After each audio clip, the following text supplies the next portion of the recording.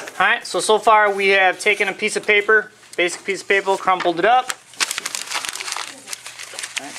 This is representing our landform, we smoothed it out, and we traced the ridge lines. Alright, trace the ridge lines so they're nice and colored, and we're going to make it rain. In your packet then you should be answering those three questions. At the bottom, making your hypothesis. Making your hypothesis.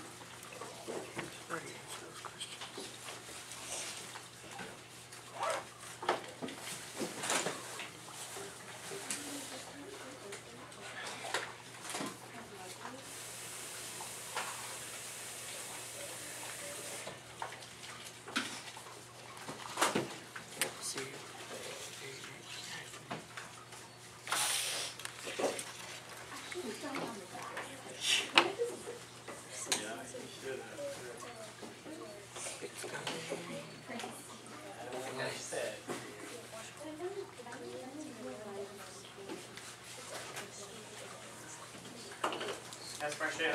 Do I have to color it anymore? Uh, it'd probably be good.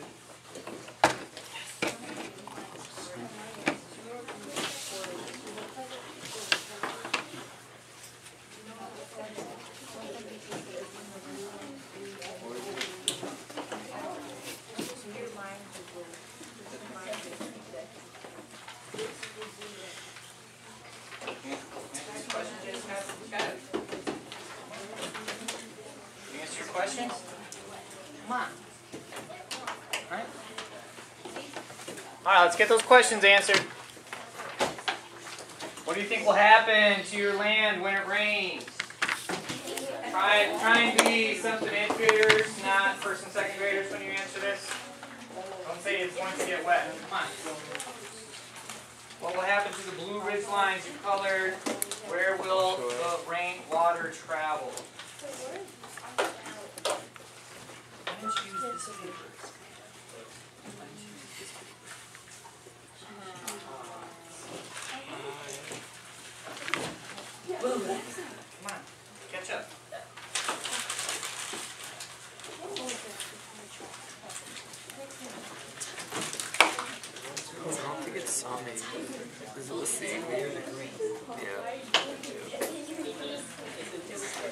Yeah, if your ridge lines are not blue, if you made them purple or something like that, that happens. What happened? I should have paused it, huh?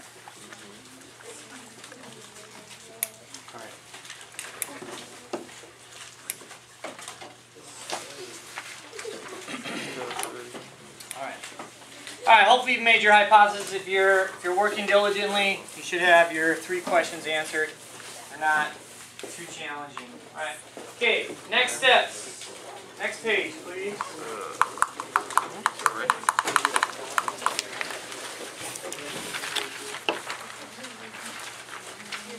Red table. Cody, read the directions.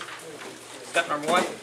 Use a spray bottle of water to create a rainstorm over your land. You want to create gentle sprays of mist. Alright. Number two, pink table proc. No, we are black table proc. Observe what happens after every. Alright, observe what happens after every misting. And purple table proctor, please. Uh, as your rainfall accumulates, observe the pathways where the excess rainfall travels. So, in just a minute, the getter's gonna go and grab a spray bottle. They're on the back counter by the sink. Uh, for the most part, they should be set up in uh, a more of a, a misty rain like this. All right, if they Pictures. please don't turn them into squirt guns. Okay, they need to be misty rains. Then what you want to do then is you're going to take your sheet and um, you can kind of leave it. You know, here's mine. It's a little bit puffed up. This one's not quite as puffed up. I didn't like, flatten it out. Flatten it out means it shouldn't be like this, right? Just You know, flatten it out like that. And what you're going to do is, and you do need to make observations as you're spraying it, but then you're going to come over and you're going to gently, right, give it different mistings.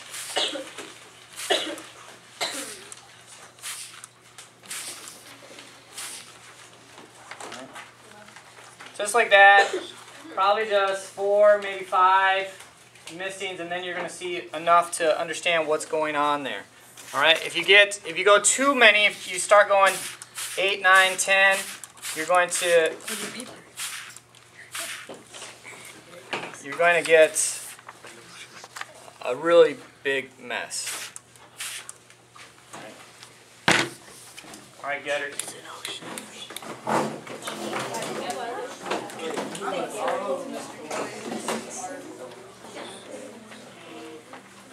This could definitely be an art form. Alright, once they're done, don't try don't lift them up or anything like that. Just just let them sit and move on to the next part, making your observations.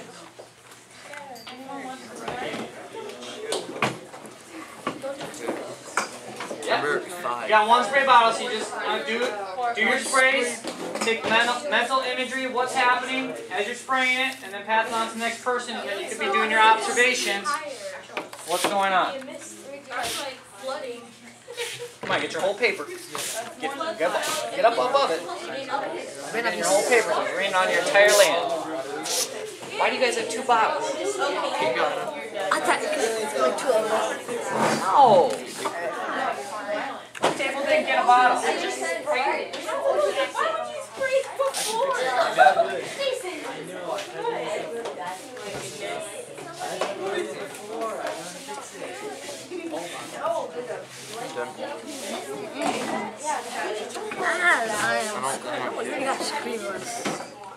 drying up.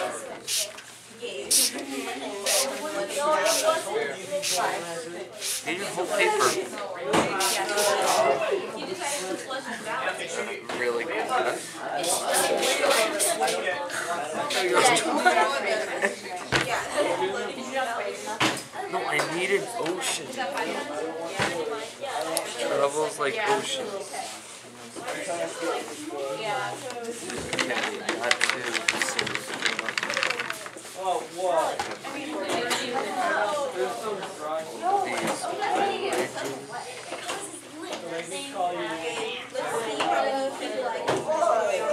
got to.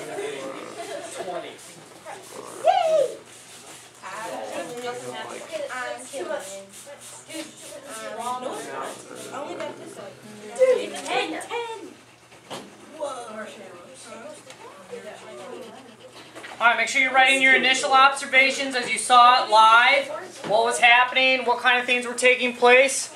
All right, then uh, recorder, you can then take out your device, take four pictures or three pictures, and then you can send those pictures to your table mates so that they have a picture so that they can do the analyzing conclude of this first portion. Right.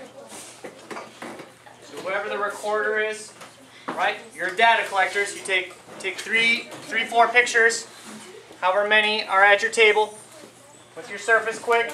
All right, make a good aerial photography. That's what we want. We don't want side view. We want a nice aerial photography. Right? Make sure you put a mental note over who who needs to receive that picture, and then you can email them. All right. Obviously, other people in the group, if you're not getting that email, you know where to go to get your picture of this, right? Your recorder should have a picture of your watershed. You doing this right now, sir? So all of them? Yeah. I just want one device out. One, two, three, four pictures. Right? Make sure it's a nice aerial pho- photograph. Spraying mine. Why aren't you spraying yours right here? I did. No, I did. Why'd you move it? I thought the camera was good. I'm sorry. Okay. Okay. So send all of these. I'll either do it. Just know whose is whose. No. Just the recorder. Okay. The a good day to be Batman. Do all of it.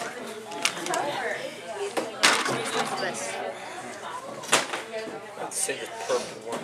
Alright, then. The bottom of page six then says answer the questions or complete the activities to analyze and draw conclusions about your data based upon what you're seeing on this first picture. Alright? So that's something you can do outside of class as you answer those things, reflecting on your hypothesis, uh, talking about how the rainfall traveled over your land, where the water collected, and then, then you get a little have, have a little fun with the next part. What we do need to do quickly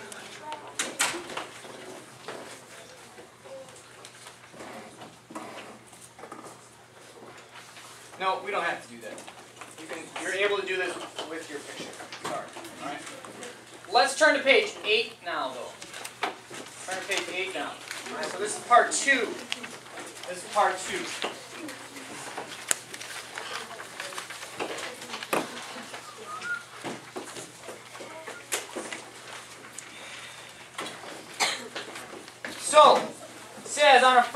Sheet of paper. Fresh sheet of paper. There's a whole box of it by Catherine if your table is seemingly out of it. Fresh sheet of paper. Let's just listen to the directions before we begin.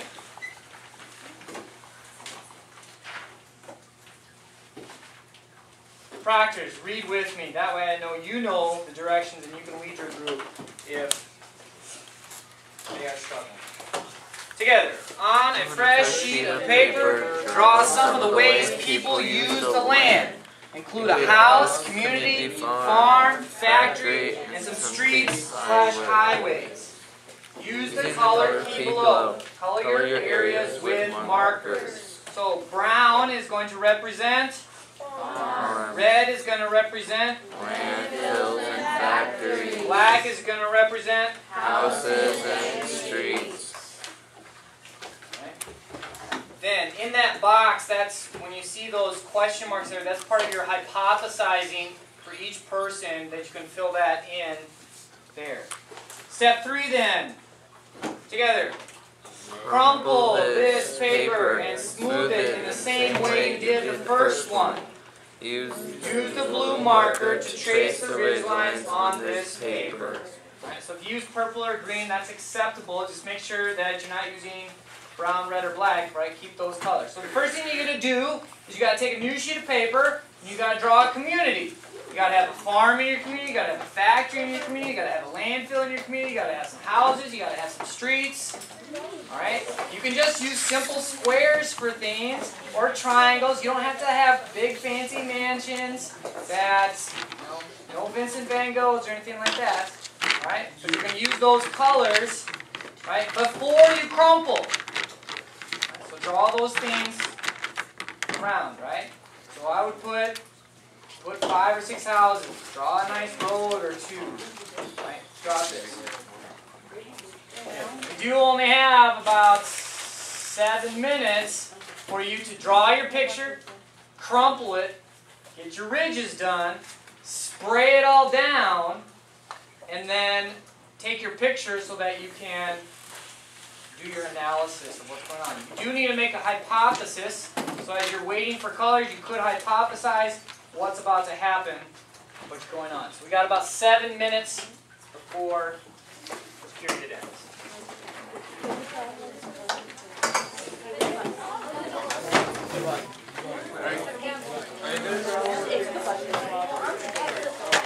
So Rebecca, it is being recorded. Okay. We don't understand what's going on. Yeah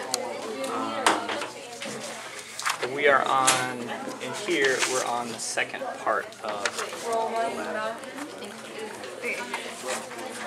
So the first part really focused on what a watershed is and how a watershed works. Second part is going to focus on human inter interaction within.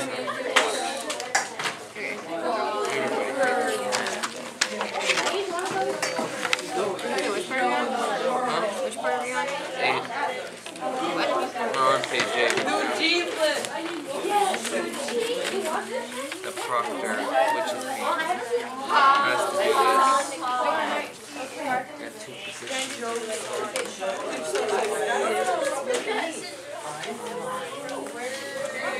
do let him know to go.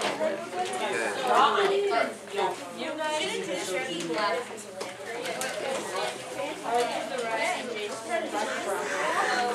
that and then we'll switch off the clock.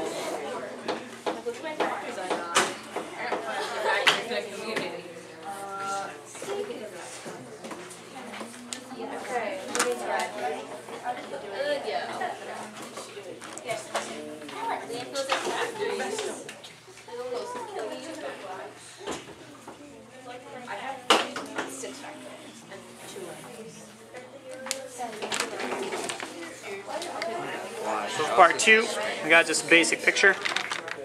Right? We got three colors. The red, the browns for farms, blacks for houses and streets. Okay, right? I'm just gonna I don't know why you're not done with your picture. Mine's done. Look. Simple, easy, done. Alright? Like I said, we're not making detailed Van Goghs at this time. Here you go. You can do this. You got time. Okay? Once you crumple it up, go ahead and add your ridges. Oh, I made myself factory. landfill. Just gonna do some. My landfill factory is awesome. I'm just gonna do like a nice little. I'm gonna make a mansion. Fancy. I'm just doing great. Okay. Farms. Let's get a farm in here. Farm. This isn't a very good drawing, but whatever. That was a really good farm. Okay. And some streets. Where's the black one? Oh, you're using it. I'm almost done. Leaves out of Can I the use that for country. your food? That's something to make these real quick. I'll make a car, but there you go. Did you take pictures of these for Rebecca to use? Yeah. You did? You did or did? I did. You did. Can I make a little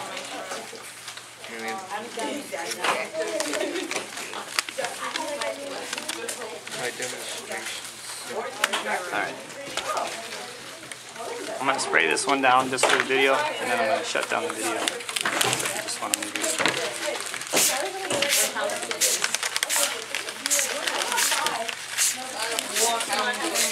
Okay.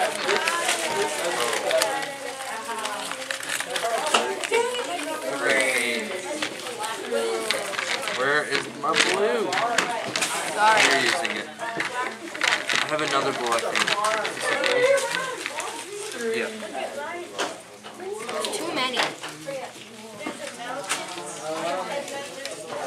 Alright, you should be on the, the crushing phase, ridge phase, as you are Make mine more with it. crunchy. I don't have enough lines. Yours is like I have too much left.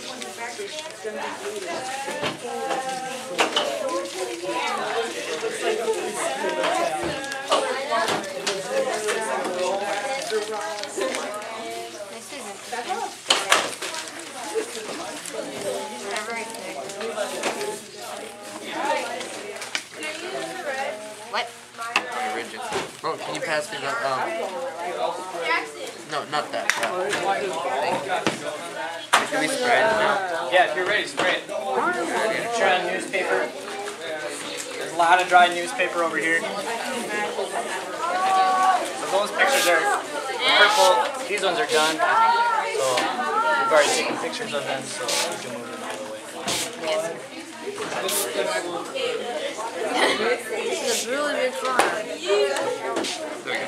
You gotta use markers. Oh, pens don't work. Here you go. Did you guys make a hypothesis? That's what you're supposed to do. Just like have it up high.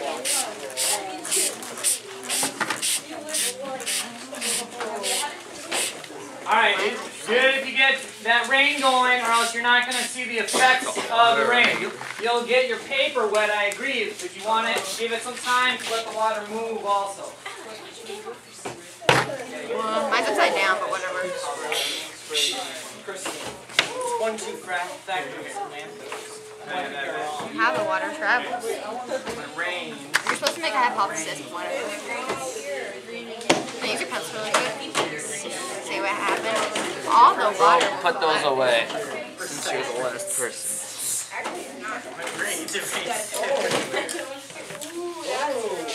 Another storm just came. I sprayed too much. They have two. I think I sprayed too much too. Whatever.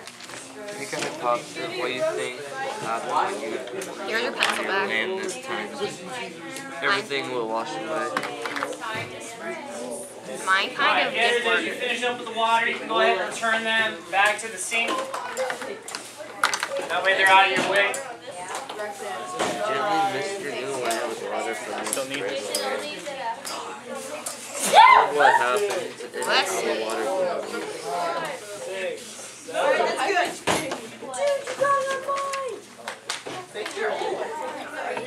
This is a horrible farm.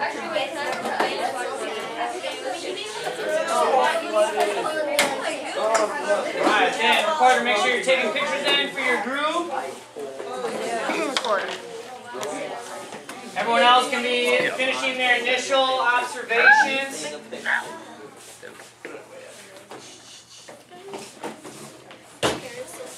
Mine's seafood.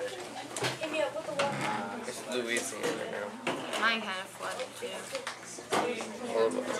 That one definitely flooded. We're all living in Louisiana. Were you supposed to spray that much water on it? Bro, hurry up. I don't think we're supposed to spray this much water. No. I'm literally going as fast on. I'm literally just doing strands of grass. You don't need to make details. Come on, it's a farm. Not a like you're already supposed to be done. In a house, Black. Alright, so this ends our comfort paper Old watershed, part one and part two. Alright, so you'll have the analyze and conclude in those sections and our check for understanding. Oh, I was.